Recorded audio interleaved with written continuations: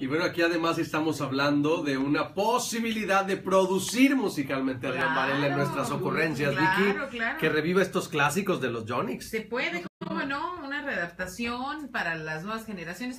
Son letras bonitas, son letras muy bonitas. Y como algunos dirían, bueno, es que como Jenny, por ejemplo, ahorita nos decía, a mis abuelitos les va a gustar. No, pero es que si las escuchan les van, a, les van a gustar a todos. Imagínate que Adriano las interpretara en una versión con sentido y ¿Eh? gran profundidad romántica. Adrián Varela, que además de traernos buenas noticias, pues eres un talento sinaloense mexicano. ¿Cómo estás? Muy, muy bien. Eh, un poco eh, enfermillo ahí de, las vías respiratorias. Oye, es que estos cambios de clima, tú pones el aire en la noche y ya para en la madrugada está congelado el cuarto, ¿no? Porque pues va ahí bajando la... Como que ya vamos a cambiarse, se va a terminar de ir el, el caliente, caliente y se va a quedar el caliente fresco, ¿no? Porque frío, frío, frío, pues no hace tampoco. Ya sabemos que aquí no existe, ¿no? El, invierno en realidad aquí no existe. Recuérdales, Vicky, cuáles son las dos estaciones. Aquí hay dos estaciones, acuérdate de esto. El verano y Maxi Radio. Así de fácil. Exacto, exacto. El verano y Maxi Radio. Adrián, nos vas a compartir cosas muy Sí, fíjense que vuelve el crucero Grand Princess a Mazatlán y con esto pues se está aspirando el arribo de unos 2.000 cruceros en la presente administración estatal. En un mes, el crucero Grand Princess vuelve por segunda vez al puerto de Mazatlán con 3.692 turistas en esta ocasión. Y pues las gestiones para promover el destino han abierto la expectativa para atraer unos 2.000 cruceros a Sinaloa. El crucero de la línea naviera Princess Cruises recorre el Pacífico mexicano procedente del estado de Colima y la siguiente escala es Cabo San Lucas. Este año ha sido significativo para la temporada turística en Mazatlán y el regreso de los buques turísticos llamados cruceros abre una gran expectativa económica para el puerto de Mazatlán y la economía de Sinaloa.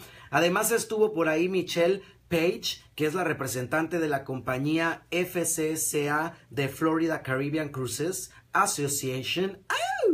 a Mazatlán y otras importantes navieras también y pudieran eh, recuperarse unos 30 cruceros, fíjese usted bien, que no hacían ya parada en Mazatlán y otras líneas que tienen ruta por el Pacífico. Así que eh, vienen buenos tiempos para la perla del Pacífico en cuestión del arribo de cruceros, más turismo, más economía y eso me pone de muy buen humor. Jueves con sabor a viernes, fin de semana. Y le tengo otra, otra muy, muy padre. En Altata existe una cooperativa de mujeres llamadas almejeras, las almejeras de Sinaloa. Por generaciones estas damas han sido colaboradoras de los hombres en la pesca, pero en Altata ya formalizaron su actividad como colectoras de almejas y formaron esta cooperativa de mujeres con un enfoque, fíjese bien, sustentable y es la primera en Sinaloa. Eh, se trata de la Sociedad Cooperativa de Producción Pesquera Almejeras de Santa Cruz. De, eh, está integrada por nueve mujeres de Altata y el Tetuán y está conformada por pescadoras libres que decidieron dar este paso y, es muy bueno eso porque recuerde usted que formalizar el trabajo te abre las puertas a que puedas llegar a más mercados y que puedas de repente tener esas capacitaciones y esas certificaciones necesarias para que sepa el cliente y tenga la confianza de que le estás dando algo de calidad. Y eso es sumamente importante, así que no hay que tener miedo de acercarnos, acercarnos a los diferentes organismos y formalizar nuestra actividad laboral. Enhorabuena para esta cooperativa, por ahí hay mujeres que tienen más de 35 años 35 años eh, pues en la pesca, como es el caso de Emilia García de la Bahía de Altata y Ensenada del Pabellón, quien considera que ser socia de esta cooperativa le representa un beneficio a ella y a quienes han trabajado toda la vida en el mar. Así que un saludo fuerte para las fundadoras de la cooperativa Almejeras de Santa Cruz y si usted quiere pues conocerlas, échese la vuelta a tusbuenasnoticias.com ahí las va a encontrar y pues qué buena onda, ¿no? Que, que, las mujeres estén empoderadas y nuevamente la mujer sinaloense poniendo el ejemplo de lo que es levantarse, ser productiva, ser jefa de familia, pues un aplauso para todas esas mamás que sacan adelante a una familia entera y a un negocio y además le dan empleo a otras personas. Pues esto es lo que traemos hoy en tus buenas noticias. Una excelente, excelente noticia porque hablamos de generalmente de los hombres del mar, de los pescadores.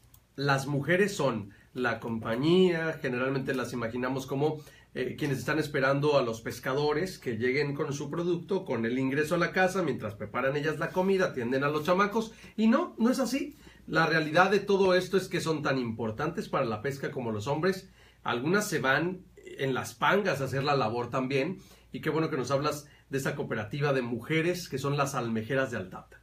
Así es, pues Muy enhorabuena bien, por ellas. ¿eh? felicidades a toda la comunidad de Nabolato. Claro, con mucho gusto. El saludo pues para esta cooperativa de producción pesquera Almejeras de ahí de Santa Cruz en Altata, como bien lo dices, Paul. Un gustazo ver, como bien señalas, que son mujeres emprendedoras que además sacan adelante eh, a sus familias y sacan adelante a otras familias porque están contratando gente, generando empleo y generando riqueza también para el sector. Así es que bien por eso nos encantan este tipo de noticias, Andrea. Adrián, muchísimas gracias.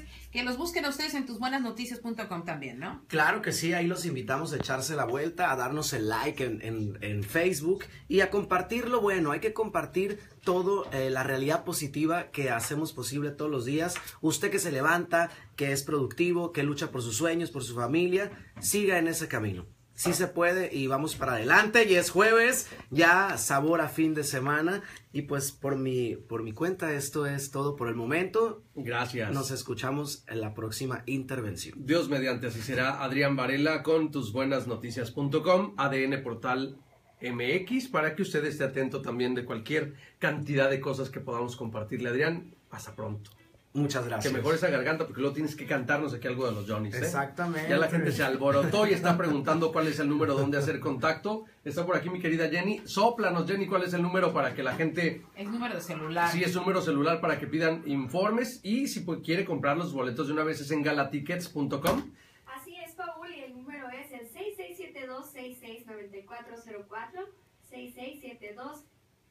6672-669404, y la información también la puede encontrar en galatickets.com.